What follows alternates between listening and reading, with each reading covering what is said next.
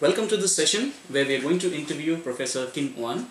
Now, Professor Kim Oanh is a full professor at the Asian Institute of Technology in the Environmental Engineering and Management field of study. Her expertise is primarily centered around air quality management. So, uh, welcome, Professor Kim. Thank you. So thank you for having me here. All right. Uh, now, Professor Kim, I have a couple of questions for you today. The first question is related to uh, the co-benefits of reducing the GHG emissions. Mhm. Now, understandably, as we know, uh, reducing these emissions, you know, would go a long way in combating the effects of climate change. But what are the other benefits of reducing these emissions, especially in the urban context? Thank you. It is exciting to talk about co-benefit Right. and interaction between air pollution and climate change. Mhm. So we know that air pollutants and greenhouse gas are actually emitted from almost the same source, Right. which is major source, it's fuel combustion. True. So we burn fuel in power plant, in industry, in vehicle engine, and cooking at home, for example. So if we can burn fuel better, more complete, and we, we can convert more useful, mean, more energy in the fuel Mhm. to the useful energy, Right. then we can burn less fuel, Mhm. and then at, then we can achieve say both reduction of air pollution and reduction of greenhouse gas emissions. Emissions. True. So on the other hand, you know that some pollutants, so they are named short-lived climate pollutants. Mm. They are toxic pollutants, Right. and at the same time they have the climate impacts. True. So, for example, the black carbon. Mm. So, black carbon are we normally soot particles. True. So they are teeny tiny particles. So that's why they can get deep into our lungs. And they carry with them also other toxic substances. So the black carbon emission reduction will surely bring in the health benefits. And black carbon are black. That's why they absorb solar radiation. Radiation. Yes. So they cause warming. Right. So that also, if we reduce black carbon emission, we also have climate benefits. Another short-lived climate pollutants we normally talk about is tropospheric ozone. Right. This is the ozone pollution Right. present near the Earth's surface. Mm. Okay, so also the same ozone, but effect is not the same ozone as in ozone layer. Yeah, right. So this ozone is toxic to human health. Right. It is green, str- strong greenhouse gas, okay, we know, and it is phytotoxic, Mhm. meaning it can cause toxic effect Right. to plant. Mhm. So that's why it would have effect on crops Right. and forest growth. So UNEP and WMO, which is World Meteorological Organization, released an assessment report back in 2011 Right.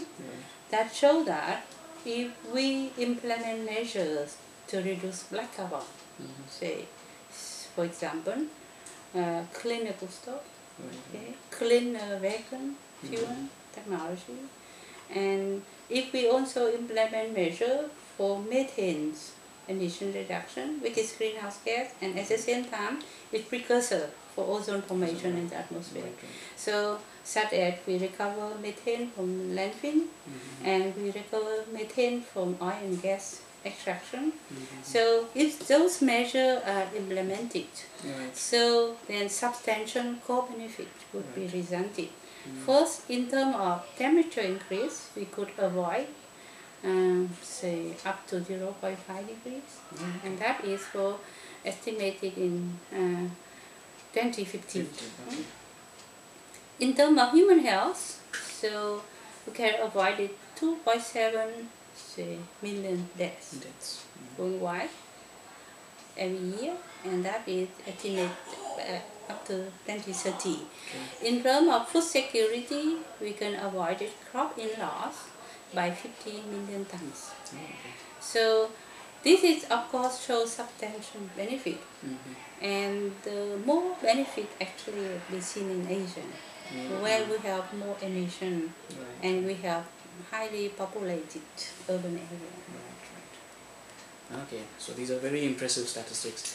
Uh, now I want to shift the focus of our discussion you know, from, from the technical aspects to a little more towards the governance aspect, okay, and introduce the, the policy component. Mhm. So uh, now, what do you think, in your opinion, you know, what are the implications of including the air quality co-benefits, Mm. mainstreaming this into the policy, you know, in terms of the benefits, in terms of the barriers, and if you can even provide some success stories or examples, that would be great.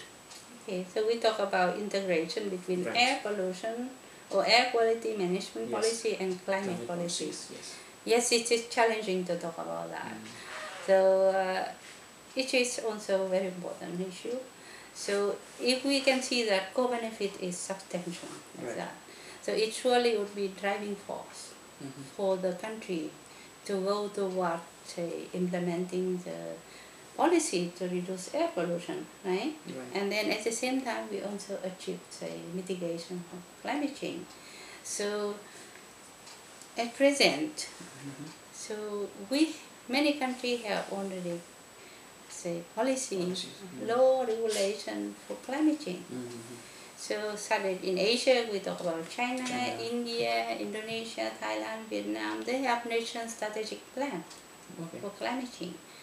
But then uh, many in many countries, or not to say in most of the country, Mhm. so those policy, climate policy, are handled by different office, different organization Mm. than the air quality policy. Oh, okay. So at the same time, air quality, uh, air quality management policy in Asian country uh, kind of more mature. Okay. mature. So climate policy is less mature. Right. So we only have set like uh, standards, emission standard, ambient Mhm. air quality standard. Uh, country have roadmap Okay. uh, to to get cleaner fuel, okay, cleaner vehicle technology. So we have also measures to reduce emission from industry, power plants.